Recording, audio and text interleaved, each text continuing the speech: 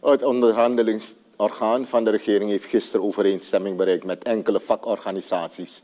Volgens minister Armand Agaibersing van Financiën en Planning beseffen de bonden dat je zo'n hoge inflatie niet in één keer kan eh, compenseren.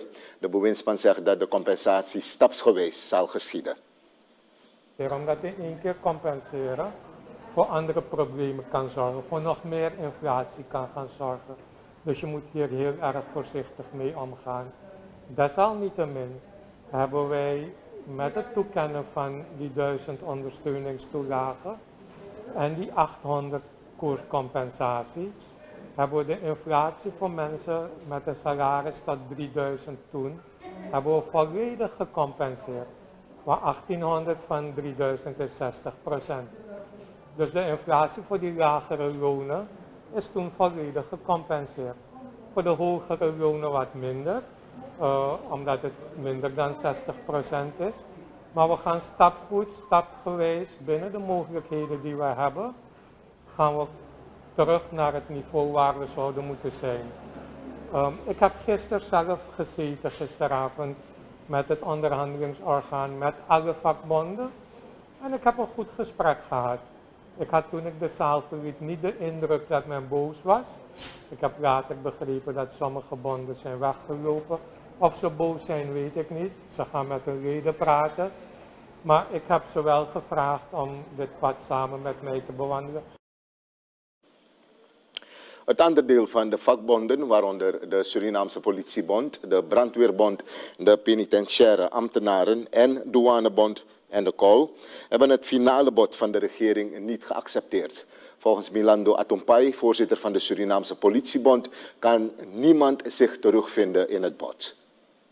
Wat wij um, willen is eigenlijk dat we moeten kunnen leven. Je moet morgens een broodje kunnen eten, smiddags een portie rijst met een beetje groente en een stukje kip, smiddags weer een broodje. Je moet naar het werk kunnen gaan en je moet de volgende dag kunnen halen. Dat is wat we willen. En om dat, om dat te kunnen halen, moet je een bepaald salaris krijgen.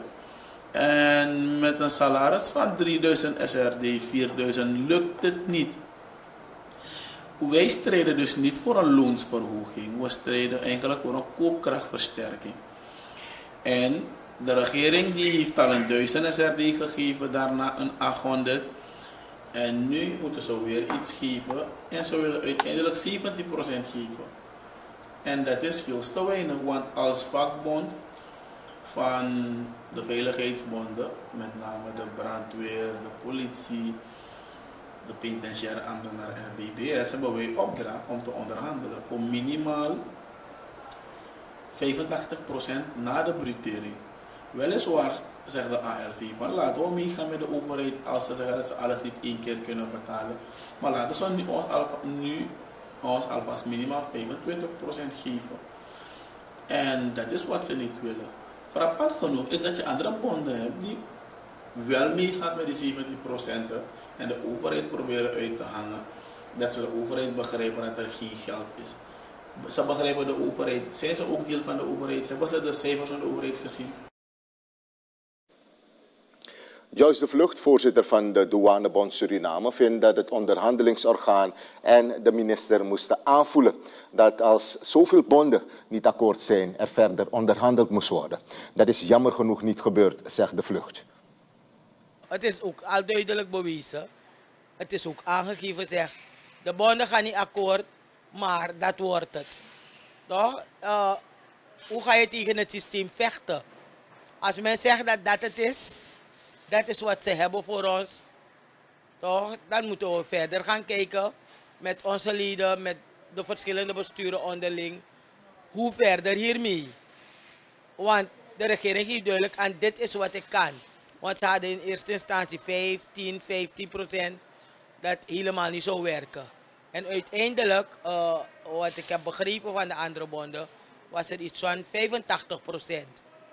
En van die 85 is men teruggegaan naar 25 procent. Dus ik denk dat het wel billig was dat de regering toch wel akkoord zou kunnen gaan met die 25 procent. Maar uh, dit is duidelijk wat men aangeeft. Dat is het dat ik kan geven en niet meer. En ik denk dat, uh, ook al zou je nu op dit moment met uh, een mes op de keel gaan om te onderhandelen, als de regering zegt dat dat het is. En er zijn bonden die gewoon akkoord gaan met die 17%. Ik weet niet waarom ze akkoord gaan en tenminste niet even doordrukken dat we toch op die 25% komen. De regering heeft meegedeeld dat de aanpassing van de bezoldiging een, eerste fase is en dat er in de maand juli weer een aanpassing komt, zoals vastgelegd in het tripartiet akkoord.